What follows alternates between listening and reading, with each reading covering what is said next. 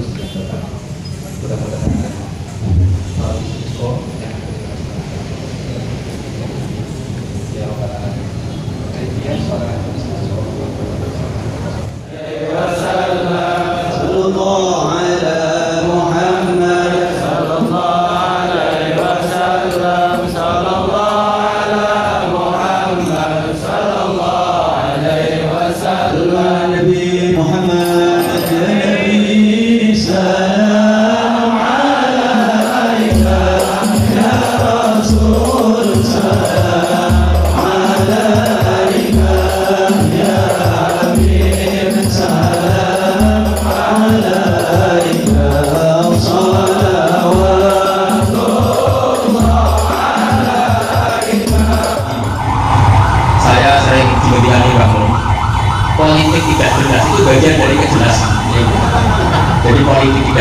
bagian dari apa?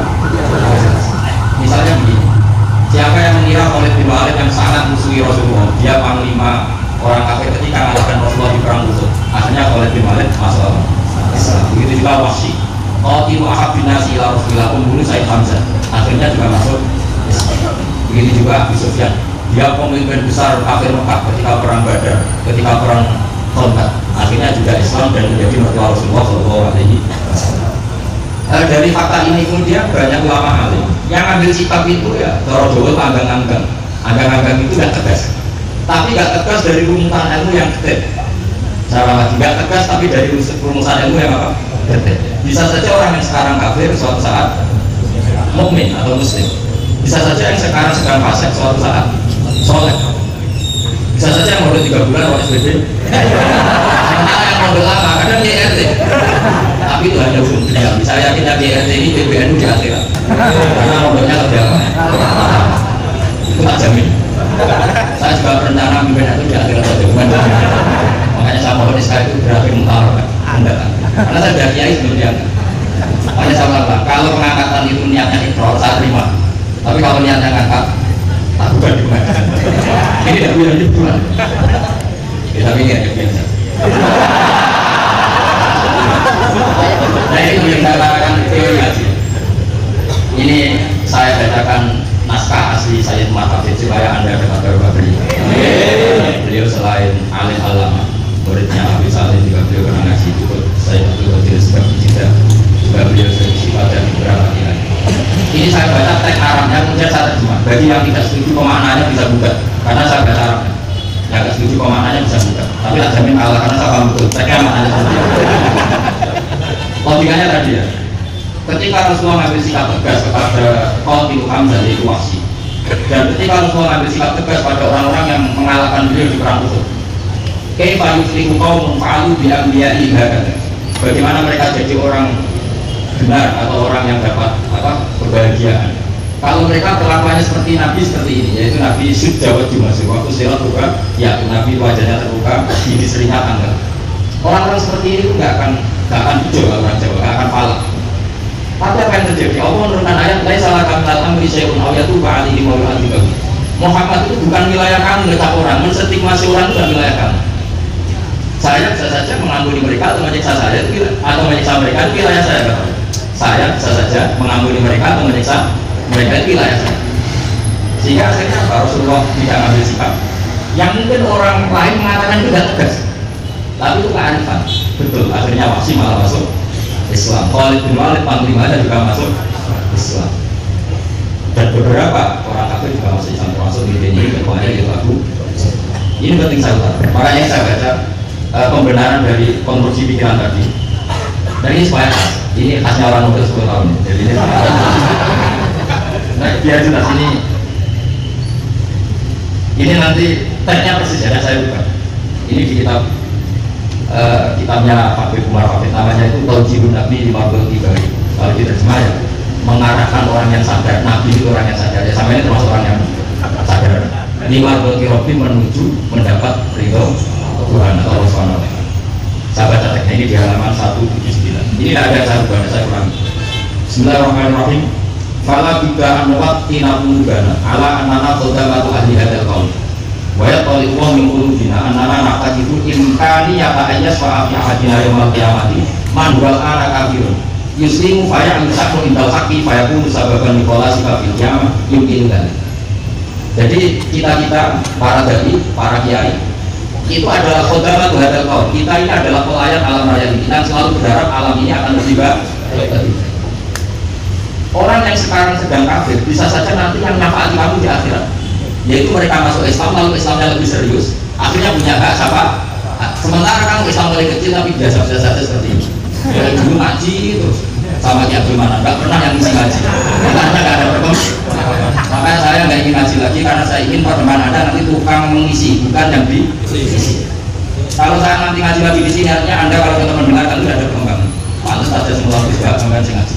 Kali-kali ada perkembangan saya ngaji sama yang ulang bagus. Ya meskipun perkembangan yang menyesatkan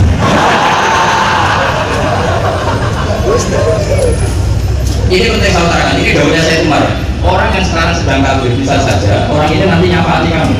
Yaitu beliau orang ini Islam kemudian Islamnya serius, serius. Maka punya hak syafaat. Sementara kamu Islamnya biasa-biasa saja. Itu masuk gak Sayyidina Umar. Sayyidina Umar Islam di hari itu langsung makomnya makom yang akhlak sehingga mengalahkan yang sudah Islam lebih lama. Karena Islamnya Umar itu menjadi izatul Islam makanya jangan benci orang tegas teman-teman. Kadang ada baiknya Abu Bakar itu sudah Islam tapi lain aja nih orangnya santun. Kalau bisa orang yang mana yang kira-kira seperti itu. Begitu juga Bilal, Amar, Sulaim saya cerita Rasulullah itu sering dibully ya, sering disiksa orang-orang Rasulullah berharap wah kalau yang Islam gini terus saya melihat Umar ini tarung. Di pasar dia dapat uang itu kalau tarung. Menang. Kata Rasulullah kalau yang Islam ya bagus. Dia berdoa oh ma'ajal Islam di Umar. Kira-kira lagi dari dua beliau Umar masuk Islam. itu pertama masuk Islam itu orang-orang itu diparani kalau, kalau kamu nggak kurang aku menjadi itu orang kafir yang beneran bumi. Sehingga kata para mereka yang Islam Islam selalu jaya menurut asrama Umar ketika Umar masuk ke Islam. Itu dalam satu hari Islam itu Rasulullah sudah ngendikan Umar yang Islam sehari ini imannya kalau ditimbang separuh ahli dunia masih unggul sama Islamnya. Nah bisa saja seperti itu. Jadi saya minta sama teman-teman yang cinta ini tidak tegas itu bagian dari ketegasan dalam dunia. Karena kita ini tidak mengendalikan dunia tidak mengendalikan hidayah. Hanya Allah yang yang ngasih apa? Maka sikap kita lai salaka minal amri syai'un aw yatufa alaihim aw yuhati Rasulullah yang ahabul khalqi Allah saja tidak boleh tegas karena semuanya potensi itu A cuma kita tegas dalam kebenaran saja tapi tidak perlu tegas dalam mengawal kebenaran Kenapa demikian? Karena Islam ini agama yang akan dijaga Allah di ini. Yang jaga Islam bukan PBN, bukan PP Muhammad, bukan Kiai. Yang menjaga Islam namun Allah Subhanahu Makanya si Tina Umar itu lalu disuruh mengkir Islam nggak mau, nggak mau itu. Masuk di dalam tanah. Umar kita itu sukses banyak itu. Umar bapak kamu gimana? Sudah sepuh mau meninggal atau tidak suksesi?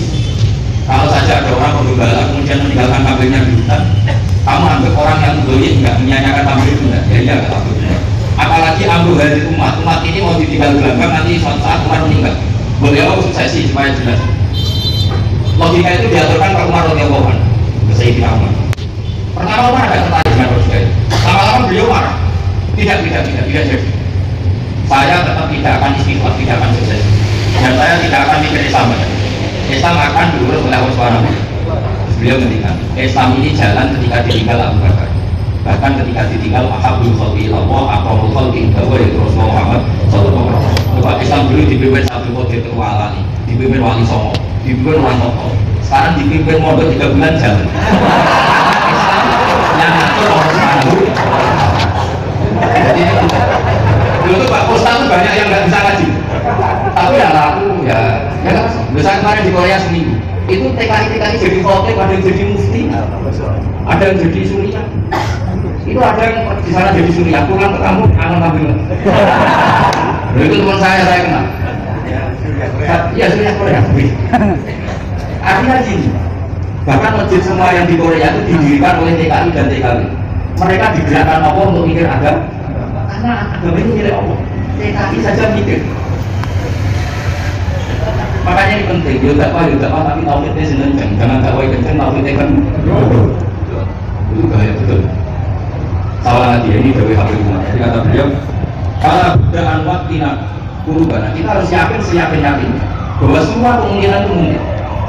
Makanya masyur dalam keadaan ketika kafir Quraisy mau disiksa oleh para malaikat karena mereka sering menyakiti Nabi, kata Nabi gimana? Jangan.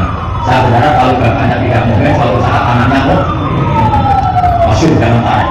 Nabi besar siapa? Walid bin Mughirah punya anak Walid bin. Abu Lahab punya anak Darroh itu mungkin yang baik. Abu Jahal punya anak Ikrimah itu mungkin yang di Indonesia lebih hebat lagi. Bapaknya bisa untuk Quran anaknya sakit. Bapaknya itu rekaman SD anaknya jadi dekan.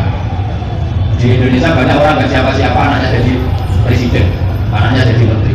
Artinya jangan karena bapaknya kafir kamu ngambil anak turunnya pasti selalu kafir. Teori itu sudah salah zaman Rasulullah. Itu Walid tadinya punya anak, Walid Abu Lahab punya anak, siapa Jahal punya anak, siapa ini? Ini penting saya utarakan karena dakwah terlalu semangat. Nanti kalau menghilangkan tauhid, bahaya. Tetap kita juga. Uni Soviet kayak apa? Mengkooptasi negara-negara sekelilingnya sampai jadi sendiri. Tapi apa yang terjadi? Uni Soviet yang runtuh, persemakmurannya semua rata-rata jadi negara apa? Islam kayak Uzbek, Acehnya kayak karena agama ini dulu Soviet. Sehingga kalau dalam, tapi kamu nikmati agama nggak apa-apa. Makanya istilahnya Habib Umar, atau kodam itu pelayan nggak apa-apa. Kita kita nikmati agama juga apa? Dengan nikmati terus pikir nggak apa-apa. Tapi jangan mikir yang merasa kalau kita mati, wah nanti agama ini bukut karena saya mati. Kamu itu siapa? Tidak pernah dipasang.